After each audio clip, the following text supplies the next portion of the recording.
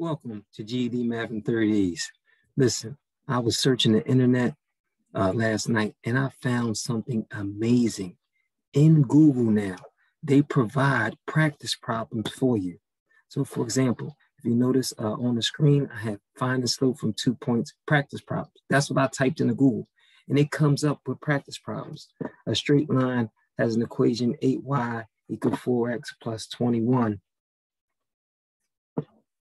which of the following is true? Okay, so what we realize that it's not in standard form, so we got to put it in standard form. So minus 4x plus 8y equal 21. Our slope is 4 over 8, which is 1 half, and our y-intercept is 21 over 8. 21 over 8. So we look over here, the y, uh, our slope is 1 half. We're looking for a slope of 1 half, which is these two options here. And then our y-intercept is a, we have as a fraction, they have as a decimal, but uh, 8 going to 21 two times. Um, that's 16. We have five left over, so 0.675. I guess they rounded off.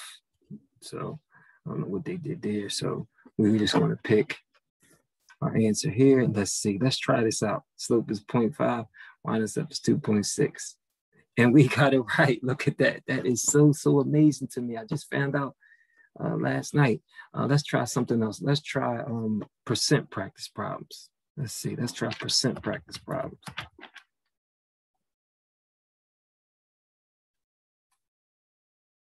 Wow, look at that.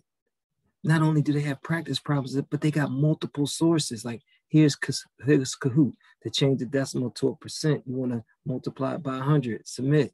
Right, let's check CK12. I love CK12.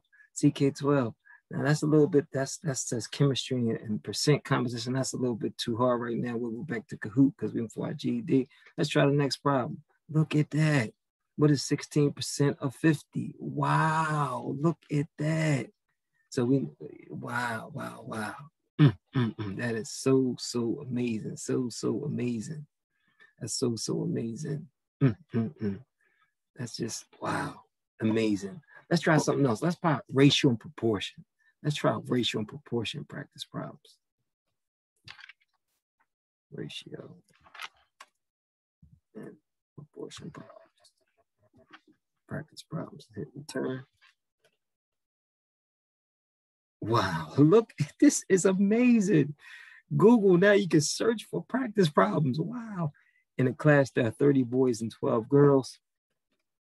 Let me get my pen uh, determine the ratio number of boys to girls. So again, boys to girls, boys is first, so 30 to 12.